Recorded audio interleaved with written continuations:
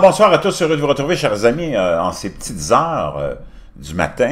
On est le lundi 24 juillet 2023, 1h22, heure du Québec, heure du matin. J'arrive, euh, j'ai travaillé ce soir, j'arrive de chez ma douce moitié, et c'est l'été, donc on dort moins, dirais Moi, je dors beaucoup moins, déjà, je dors pas beaucoup, mais l'été, je dors encore moins.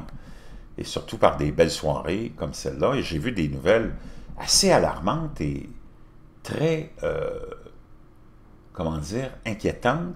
Et je me suis dit, je vais les partager tout de suite aux petites heures du matin. Comme ça, vous les aurez avant tout le monde. Merci d'être là avec moi sur YouTube. Merci à ceux qui sont abonnés. Ceux qui ne le sont pas, faites-le maintenant. Merci à ceux qui m'envoient des liens et des messages toujours très appréciés. Imaginez-vous, on le sait, on est dans une période très, très, très critique. Pour ceux qui suivent les fils de nouvelles, pour ceux qui sont sur les réseaux sociaux, vous le voyez, il y a beaucoup de tensions, beaucoup d'animosité. Pas dans la vie de tous les jours. Quand tu te promènes dans la vie de tous les jours, avec tes voisins, avec tes collègues de travail, avec euh, ta famille, avec le monde en général, il n'y a pas grand-chose que tu puisses palper. C'est pas palpable. Parce que, faut pas que tu oublies que le troupeau, il ne se rend pas compte de grand-chose, puis on vit en paix, nous autres, on, vit en harmonie, euh, euh, comment dire, supposée harmonie, là, il n'y a pas de personne qui se bat dans la rue, il n'y a personne qui se lance des pierres, mais tu as des activistes. Les activistes n'ont jamais été aussi nombreux et actifs. On est dans une période unique dans l'histoire de l'humanité, où toutes sortes d'agendas complètement déglingués, dépravés, sont avancés, toutes sortes de théories. Je veux parler de théorie du complot. La théorie des gens, c'est une théorie du complot, ça n'a pas de sens. De prétendre que juste en te mettant du rouge à lèvres, tu peux être une femme, encore là, des hommes blancs qui prennent toute la place puis qui vont envahir l'univers des femmes, les femmes qui, depuis des années, se sont battues pour arriver à un certain niveau d'égalité sociale. Devant la loi, c'est correct, c'est normal, c'est acquis, mais il y a toujours des combats qui sont à faire pour une, autre sorte de justice et d'équilibre et d'équité, et mais surtout d'égalité. Tu ne peux pas avoir l'égalité à 100% parce que l'homme et la femme sont différents. Mais la femme, toute la femme, d'abord, c'est toutes les femmes, c'est la femme qui a enfanté toute l'humanité, tu comprends? Donc ça, tu ne peux pas y changer ça. Tu ne peux pas changer ça. Voyons donc. C'est quoi cette affaire-là? Tu as des illuminés qui pensent que, parce qu'ils ont vu un emoji d'homme enceinte, qu'un homme peut tomber enceinte. As-tu déjà vu le, le corps d'une femme et la biologie d'une femme, là? Ça n'a pas de sens. Même ceux qui vont jusqu'à des opérations, qu'est-ce qu'ils ont? C'est des patentes à gosse. Ils n'ont pas d'utérus. Ils n'ont pas, de, ils pas le corps de la femme. Ils n'ont pas la... C'est complètement hallucinant. Donc, si tu veux parler de théorie du complot, des vrais, juste de la folie, là. Moi, tu peux vivre ta vie sexuelle comme tu veux. Je vais toujours être le plus grand défenseur de la communauté LGBTQ, même plus, si tu veux. Ce qui se passe dans ta chambre, dans ta maison, sexuellement, ça regarde personne, puis surtout pas le gouvernement. Mais d'arriver puis d'imposer ça comme une, comme une réalité, voyons, donc ça n'a pas de sens qu'un homme qui décide pour être dans sa tête bien et se sentir bien, juste à se mettre du rouge à lèvres, de, de, soudainement devenir une femme. Voyons donc, c'est de réduire la femme à quoi, un citoyen de troisième ordre. Puis là, tu as tous nos politiciens gauchistes contemporains de l'hémisphère nord qui sont tellement, tellement corrompus qui eux autres embrassent ces folies-là pour se faire pourquoi du capital politique, ils vont avoir cinq votes pour ça. On le voit, les populations commencent à se lever partout. Ils voyons donc, ça n'a pas de sens. Vis ta vie comme tu veux. Tu peux même t'habiller en femme si tu veux, puis vivre ta vie habillée en femme. Mais tu n'es pas une femme.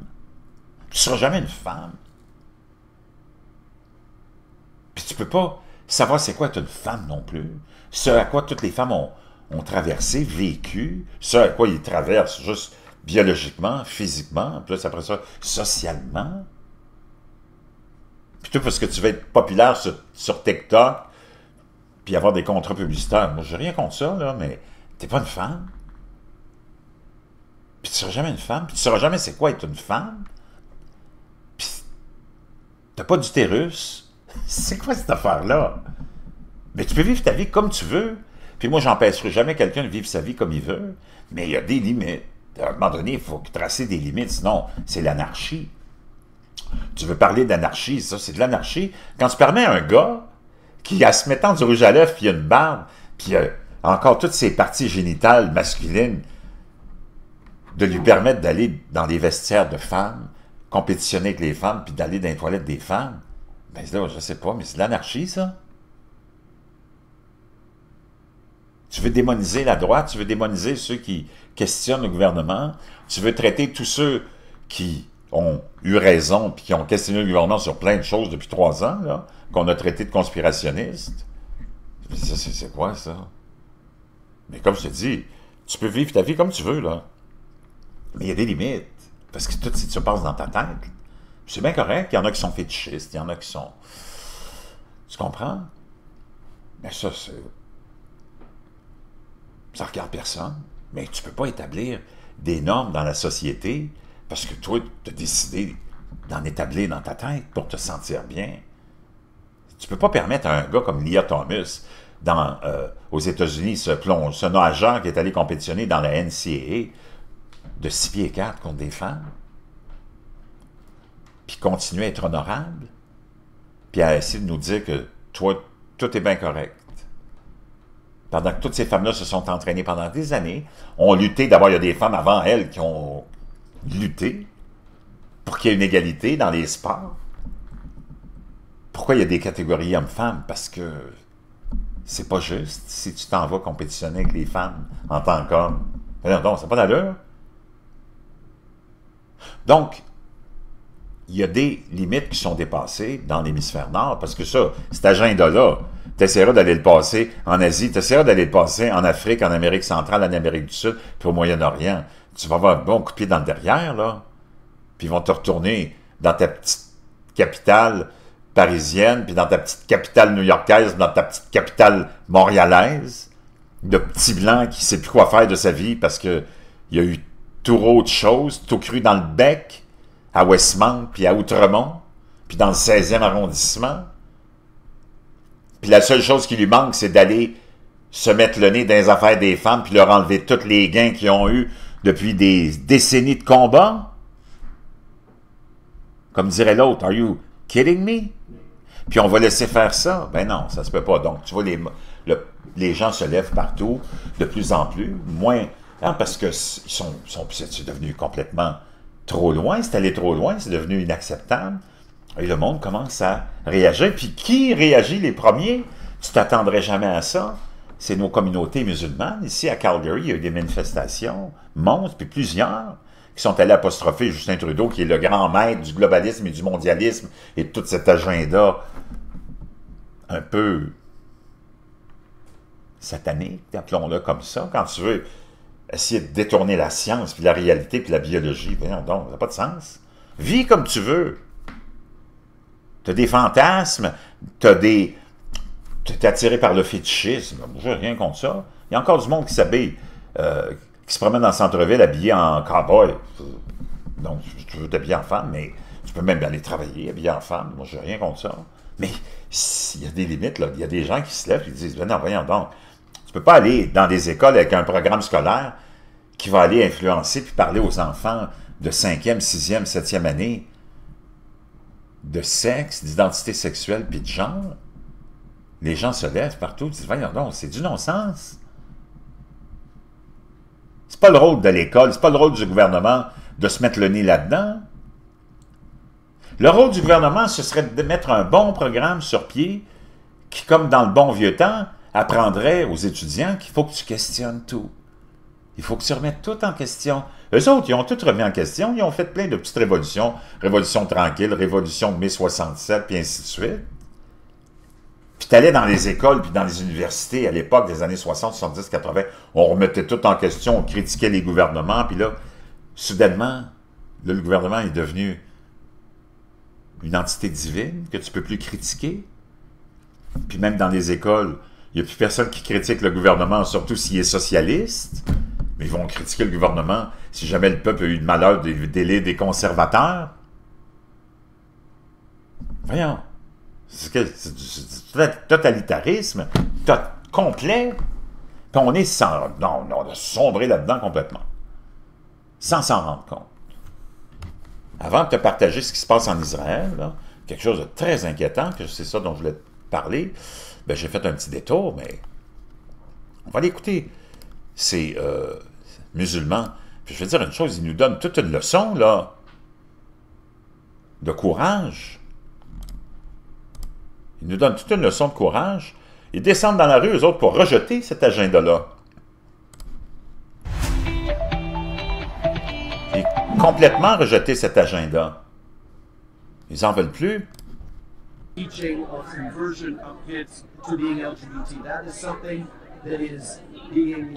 Weaponized by people who are not doing it because of their interest in supporting the Muslim community. Leave our kids alone! The Muslim community in Calgary has been vocal in recent weeks. They have rallied, protest after protest. Donc, plusieurs manifestations. Manifestation après manifestation, les musulmans descendent dans la rue au Canada pour dire à Trudeau et à l'élite gouvernementale, l'aristocratie qui nous gouverne, laissez nos enfants tranquilles. Leave our kids alone. C'est pas votre rôle de parler de ça à l'école. Votre rôle, c'est d'enseigner l'anglais, le français, la géographie, puis surtout l'esprit critique, ce qui est plus maintenant. Le seul esprit critique qu'ils ont, c'est ceux qui, c'est contre ceux qui questionnent le gouvernement, questionnent les politiques gauchistoïdes et cancérigènes du globalisme et du mondialisme. Behind a powerful slogan, Leave our kids alone. Expressing their resistance to gender ideology being taught in schools. Like teaching this ideology in schools is violating our rights. Donc, enseigner cette idéologie-là à l'école, ça viole nos droits de parents, nous dit cette femme musulmane, avec raison. C'est pas le rôle du gouvernement de s'infiltrer dans ces discussions-là auprès de nos enfants pendant qu'on n'est pas là. Wow! Donc, chapeau. Puis, le courage de ces gens-là, je le salue. Parce que nous autres, on n'a pas le courage. On accepte tout, puis on tolère tout. Ça n'a pas d'allure. Tu peux pas tolérer ça, voyons donc. Pendant ce temps-là, en Israël, imagine-toi, tu Benjamin Netanyahu, je pense que je vous en avais parlé la semaine dernière, euh, était très malade. OK? Et là, il a été retransporté à l'hôpital. On lui a installé un stimulateur cardiaque, mais il dit qu'il va aller quand même de l'avant avec la réforme judiciaire. La réforme judiciaire. Mais là, tu as la gauche qui a naturellement utilisé ça comme une arme contre Benjamin Netanyahu et contre la droite. Parce que, comme aux États-Unis, comme j'imagine en Europe de l'Ouest, la justice, les systèmes judiciaires sont complètement corrompus, toutes gauchistoïdes, mondialistes, globalistes, puis on va cibler seulement les ennemis politiques. Comme aux États-Unis, on ne fait que cibler les conservateurs, Donald Trump. La famille Biden est d'une corruption. Il n'y a personne qui peut égaler, même, euh, comme, même euh, comment on, l'appelait, euh, l'empereur Caligula ou euh, Néron, ça n'a jamais été aussi corrompu même que la famille Biden, qui a des passe-droits incroyables, puis on est après Donald Trump parce qu'il a volé deux, trois rouleaux de papier de toilette à la Maison-Blanche, des papiers classifiés qui n'ont aucune importance, que tous les présidents ont tout amené chez eux, anyways. Donc, en Israël, c'est pareil, l'appareil judiciaire est d'une corruption et est complètement gauchistoïde. Et on attaque toujours les opposants politiques. Et là, lui, il veut absolument faire une réforme là-dessus. Parce qu'il ne faut pas oublier que Benjamin Netanyahu a été démonisé et on a essayé de le criminaliser parce qu'il a reçu des cadeaux, de bouteilles de champagne, un cigare. Je ne pas dire une chose, ça ne prend pas grand-chose pour... Euh, monter d'un rideau, là, quand il y a des choses qui ont été commises qui sont bien plus graves que ça. Puis je cautionne pas ici Benjamin Netanyahu puis son gouvernement, mais juste pour te dire, mais il y a quelque chose qui se passe en Terre Sainte qui fait que, prépare-toi, c'est certain qu'on nous prépare un conflit très, très, très gros, d'une ampleur mondiale. Le premier ministre nous rapporte l'Associated Press Benjamin Netanyahu. Parce qu'il ne faut pas que tu oublies que là, on veut aller mater les populations qui commencent à se lever partout contre l'establishment, contre le, mondialisme, le globalisme et son idéologie euh, gauchistoïde, puis tout ce qui vient avec, que ce soit de l'urgence climatique, à l'agenda LGBTQ+, qu'on veut, qu'on enseigne, puis qu'on veut continuer à enseigner dans les écoles, contre le gré des parents. Là, on veut. Puis le questionnement des gens, après toutes les informations qui sortent, euh, concernant la pandémie, concernant l'origine de tout ce que tu peux imaginer et de, du virus, les gens commencent à se réveiller, puis la confiance est de moins en moins présente envers les gouvernements et les médias. Parce que tu avais une bonne partie de la population, même si tu as une minorité depuis longtemps qui remet tout en question, autant l'honnêteté des médias que des politiciens, la masse, le troupeau, était toujours assez consentant, assez conformiste. Mais là, même le troupeau commence à être moins consentant et moins conformiste. Donc, qu'est-ce qu'on va faire avec? Ça va être toute une question. En annonçant l'hospitalisation de Netanyahou, le bureau de Netanyahou a déclaré qu'il serait mis sous sédation et qu'un haut adjoint, le ministre de la Défense Yariv Levin, le remplacerait pendant qu'il subirait la procédure. Dans une brève déclaration vidéo avant l'implantation, Netanyahu a déclaré qu'il se sentait bien et de faire avancer la refonte judiciaire dès sa libération de l'hôpital.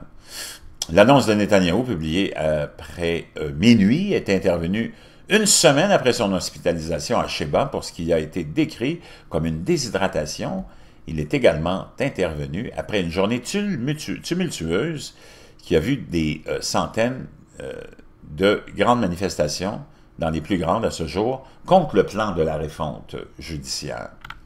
Des centaines de milliers de personnes sont descendues dans les rues d'Israël samedi soir, tandis que des milliers de personnes ont marché vers Jérusalem et campé près de la Knesset, au Parlement avant un vote qui était attendu demain ou ce matin chez eux déjà, qui approuverait une partie clé de la refonte. Accroissant davantage la pression sur le dirigeant israélien, plus de 100 chefs de la sécurité à la retraite se sont prononcés à faveur des rangs croissants de réservistes militaires qui disent qu'ils cesseront de se présenter au travail si le plan est adopté. On parle de 10 000 réservistes qui refuseraient. De quoi on se mêle? Netanyahou et ses alliés d'extrême droite encore là. L'extrême droite, c'est tellement, c'est tellement aberrant et malhonnête. Mais enfin, ont annoncé le plan de refonte en janvier, quelques jours après leur prise de fonction. Ils affirment que le plan est nécessaire pour limiter ce qu'ils disent être les pouvoirs excessifs des juges non élus. Et c'est vrai. Les critiques disent que le plan détruira le système de frein de contrepoids du pays et le mettra sur la voie d'un régime autoritaire. Le président américain Biden a exhorté Netanyahu à suspendre le plan et à rechercher un large consensus. Ben, pas lui qui est placé pour donner des leçons de moralité, c'est lui qui cible avec son département de la justice tous ses opposants politiques, puis qui est prêt à envoyer son opposant principal qui, pourrait le battre aux élections. Imagine-toi, Donald Trump, il, serait, il, il s'entête à vouloir absolument l'envoyer en prison et le faire condamner. Ça s'est jamais vu, ça. Netanyahu, 73 ans, un emploi du temps chargé. Son bureau affirme qu'il est en bonne santé, mais au fil des ans, il a publié peu de détails ou de dossiers médicaux. Le 15 juillet, il est transporté d'urgence à Saba avec des vertiges. Il a dit plus tard qu'il était sorti sous le soleil brûlant et qu'il n'avait pas bu assez d'eau. Son retour pour la procédure du simulateur euh, cardiaque a indiqué que ses problèmes de santé étaient plus graves qu'indiqués. Initialement, dans la vidéo, Netanyahou a déclaré qu'il avait été équipé d'un moniteur après l'hospitalisation la semaine dernière et que lorsqu'une alarme a euh, retenti tard, samedi, cela signifiait qu'il avait besoin d'un stimulateur cardiaque immédiatement. Donc, dans cet environnement euh, de ce qu'on a... C'est me font rire parce qu'ils te mettent des titres, la guerre civile, on va sombrer dans la guerre civile. Ben, c'est juste des gauchistoïdes qui sont les opposants politiques de Netanyahou qui sont descendus dans les rues. Et, mais ça, comment dire, quand tu vas en profondeur, ça, euh, ça démontre qu'il un problème majeur. Un problème majeur. Et ce problème majeur-là, c'est la population en général qui s'accroche à ses traditions. Le gouvernement mondial est très déçu du fait que encore presque 50% et plus des populations de nos pays de l'hémisphère nord commencent à se réveiller et à rejeter toute forme de gauchisterie, de globalisme et de mondialisme. On veut des gouvernements qui s'occupent de leurs affaires et non pas de nos affaires.